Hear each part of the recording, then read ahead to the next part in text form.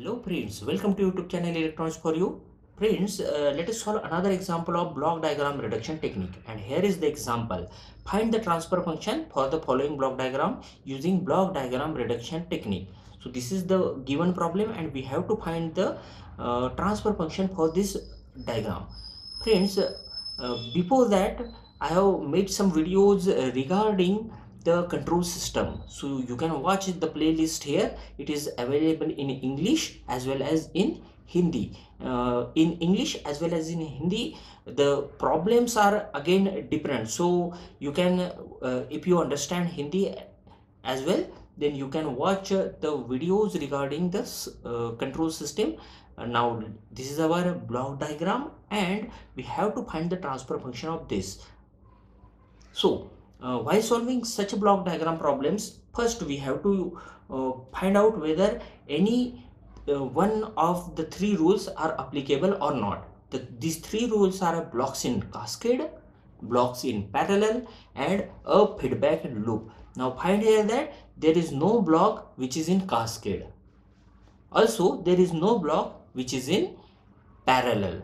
Means you can't directly apply any rule here so let us move toward the third uh, topic uh, third rule that is whether these are there is a feedback loop or not. Now see here carefully that you can have the feedback loop here but this summing point should be there. So none of the three rules are applicable here is applicable here. So let us move toward the next rules whether the block uh, you can split the summing point. Now the summing point is given here as well as here. But uh, you can't apply a splitting of summing point here. So Anna, the next rule for the block diagram reduction is the interchanging of summing point. Now see that these two blocks uh, two summing points are consecutive to each other and we can interchange it. But uh, before applying the rule first see that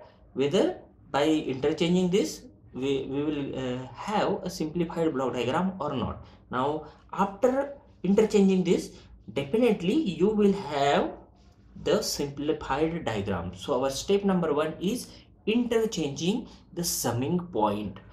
Now after interchanging uh, see uh, note here that the sign of the summing point will not change as well as connection will not change. Means if this line is connected to this summing point which is having positive sign it will remain as it is. And if this is connected to h2 it will remain as it is. So i will just interchange. You have to draw the other another block diagram here.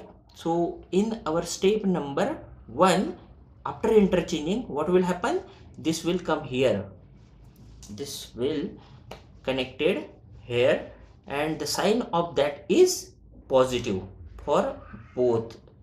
Okay and this h2 will now be connected to this one and it is having a negative feedback. So i am connecting h2 here with negative side and i have connected the feedback here which is having a positive sign. The sign is not changed here. The only thing that i have done is the interchanging of summing point. So after step one you will get this and uh, definitely. Now you can find the solution for this. Now you can easily see that this g2 and h2 is a feedback loop. So our step number two is to solve this feedback loop. Now the formula for the feedback loop is g divided by 1 plus gh now instead of g it is having g2 and for h it is having h2 so the resultant will be this one.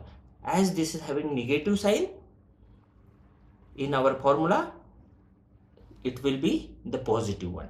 So i will replace this block in our step number 2 with a single block which is having transfer function this one that is g2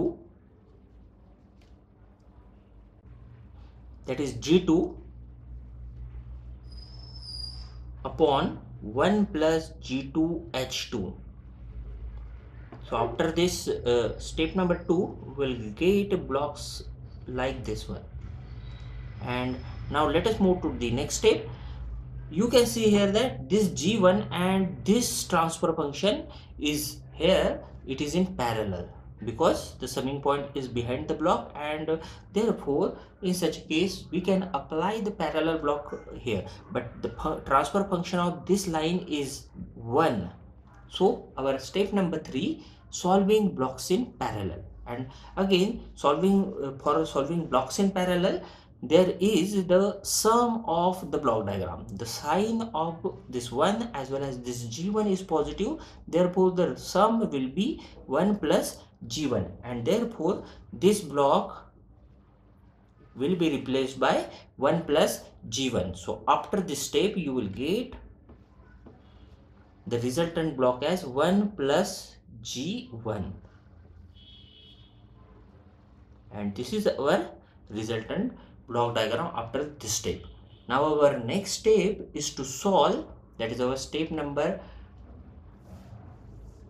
4 is to solve these blocks in parallel uh, sorry blocks in series. So this block this block and these blocks are in series. If the blocks are in series or cascade there is the multiplication of transfer function. So this transfer function this transfer function and this transfer function will get multiplied. And therefore i can write here this g3 will multiply here. So this g3 block is eliminated here and 1 plus g1 will also multiply the numerator here. So 1 plus g1 is in numerator. You can further simplify this but uh, for this step i am keeping the calculation as it is because in next step i have to find the transfer function. Now again look here that this is our final thing that is available here.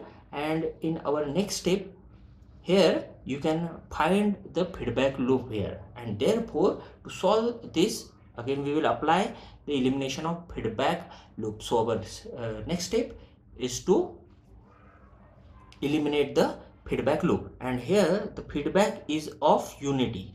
As there is no transfer function given the unity feedback is considered that is h is equals to 1 and transfer function will be equal to g divided by 1 plus, plus gh here and therefore as h is equals to 1 it will be g divided by 1 plus g. And therefore this is your g and this is your h which is not actually here. So i will just write the multiplication of this with this one that is g2 g3 plus g1 g2 g3 over 1 plus g2 h2 this is your g and now 1 plus g is again same one. That is 1 plus g2 g3 plus g1 g2 g3 over 1 plus g2 h2 and therefore the final transfer function of this uh, denominator will get cancelled if this one is multiplied by this term. And therefore in numerator you will get g2 g3 plus g1 g2 g3 over this is multiplied here that is 1 plus g2 h2 plus g2 g3 plus g1 g2 g3 so this is our final answer. And thus we can solve any block diagram by using block diagram reduction technique. And this is our final answer. That is the transfer function of this block diagram is this one. Or if uh, they have asked you to reduce it into single block just write a block there. R of S and C of S with uh, will be there. And you have to write the transfer function as this one. Here the formula for transfer function is C of S over R of S that is Laplace transform of output upon Laplace transform of input thank you and friends, if you like this video, please subscribe our channel and press the bell icon for notification. And like, comment and share. Thank you.